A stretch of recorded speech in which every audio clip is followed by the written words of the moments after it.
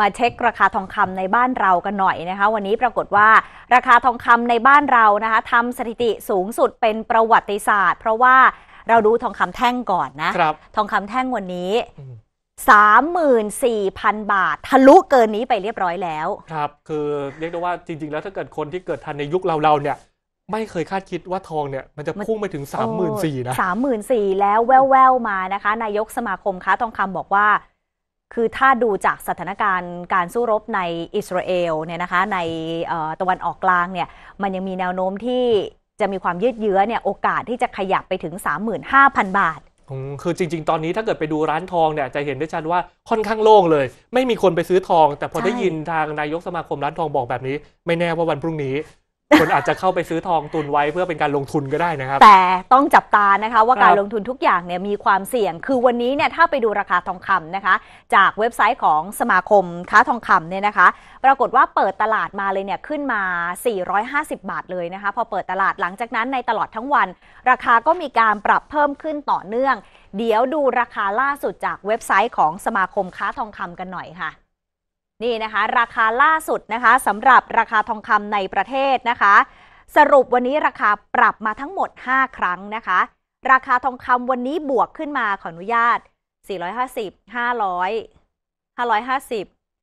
650 บาทต่อบาททองคำ คือถ้าเกิดวันหนึ่งมีเกินกว่า 24 ชั่วโมง อาจจะปรับขึ้นไปมากกว่านี้นะครับ อันนี้นี่คือหยุดที่ 650 650 บาทนะคะสำหรับวันนี้ราคาที่ขยับขึ้นมา เพราะฉะนั้นราคาล่าสุดตอนนี้นะคะ อย่างที่คุณผู้ชมเห็นอยู่หน้าจอนะคะ ทองคำแท่งขายออกอยู่ที่บาทละ 34,250 บาท คือถ้าเราจะเข้าไปซื้อที่ร้าน เราต้องจ่ายเงินให้ร้าน 34,250 บาท แต่ถ้าเราเอาทองไปขาย ร้านเขารับซื้อเราอยู่ที่ 34,150 บาทต่อบาททองคำนะคะ ส่วนทองรูปพรรณขายออก 34,750 ถ้าไปซื้อที่ร้าน 34,750 อันนี้ยังไม่มีค่ากำเนิดนะ เบ็ดเสร็จก็น่าจะทะลุไปที่ 35,000 นิด ๆ นะครับอ่าถ้าเราเอาทองไปขายรูปพรรณนะ 33,533 บาทนะคะ คือราคาที่เราเห็นในวันนี้เนี่ยถือว่าเป็น ราคาที่ทำสถิติสูงสุดครั้งใหม่ในประวัติศาสตร์ของบ้านเรานะครับราคาในบ้านเราราคาตลาดโลกมันอาจจะยังไม่ถึง 2,000 เหรียญก่อนหน้านี้ช่วงที่แพงๆเนี่ยเราได้เห็นราคานั้น แต่วันนี้ยังไม่ถึง 2,000 เหรียญนะคะ ทางคุณจิตติตั้งสิทธิพักดีนายกสมาคมค้าทองคำบอกว่าตั้งแต่มีสถานการณ์สู้รบระหว่างอิสราเอลกับกลุ่มฮามาสเนี่ยราคาทองก็ขึ้นมาอย่างต่อเนื่อง เอาเฉพาะราคาในประเทศตั้งแต่มีเหตุการณ์ความรุนแรงเกิดขึ้น ขึ้นมาเนี่ยกว่า 2,000 บาทแล้ว และส่วนตัวเนี่ยก็มองว่าถ้าสถานการณ์ยังยืดเยื้อ ก็จะส่งผลให้มีแรงซื้อทองคำเก็บในฐานะสินทรัพย์ปลอดภัยมากขึ้น ส่งผลให้ราคาทองมีโอกาสปรับขึ้นไปได้เรื่อยๆ อาจจะขยับไปได้ถึง